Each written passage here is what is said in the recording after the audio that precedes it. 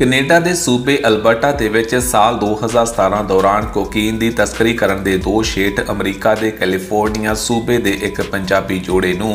ਸਥਾਨਕ ਅਦਾਲਤ ਦੇ ਵੱਲੋਂ ਦੋਸ਼ੀ ਕਰਾਰ ਦਿੱਤਾ ਗਿਆ ਹੈ। ਕੈਲੀਫੋਰਨੀਆ ਦੇ ਗੁਰਵਿੰਦਰ ਤੂਰ ਅਤੇ ਉਸ ਦੀ ਪਤਨੀ ਕਰਮਦੀਪ ਤੂਰ ਨੂੰ ਸਾਲ 2017 ਦੇ ਵਿੱਚ ਕੈਨੇਡਾ, ਅਮਰੀਕਾ ਬਾਰਡਰ ਤੇ 100 ਕਿਲੋ ਕੋਕੀਨ ਸਮੇਤ ਗ੍ਰਿਫਤਾਰ ਕੀਤਾ ਗਿਆ ਸੀ, ਜਦੋਂ ਉਹ ਇੱਕ ਟਰੱਕ ਰਾਹੀਂ ਕੈਨੇਡਾ ਦੇ ਵਿੱਚ ਦਾਖਲ ਹੋ ਰਹੇ ਸਨ। ਇਹ ਟਰੱਕ ਉਹਨਾਂ ਦੇ ਟਰੱਕ ਵਿੱਚੋਂ ਬਰਾਮਦ ਹੋਈ ਸੀ, ਜਿਸ ਦਾ ਮੁੱਲ ਉਸ ਸਮੇਂ ਦੇ ਦੌਰਾਨ 6 ਤੋਂ 8 ਮਿਲੀਅਨ ਡਾਲਰ ਦੇ ਕਰੀਬ ਬਣਦਾ ਸੀ। ਦੱਸਣਯੋਗ ਹੈ ਕਿ 2 ਦਸੰਬਰ ਸਨ 2017 ਵਾਲੇ ਦਿਨ ਇਹਨਾਂ ਦੋਵਾਂ ਨੂੰ ਇੱਕ ਕਮਰਸ਼ੀਅਲ ਟਰੱਕ ਦੇ ਵਿੱਚ ਅਮਰੀਕਾ ਕੈਨੇਡਾ ਦੇ ਕੂਟਸ ਬਾਰਡਰ ਤੇ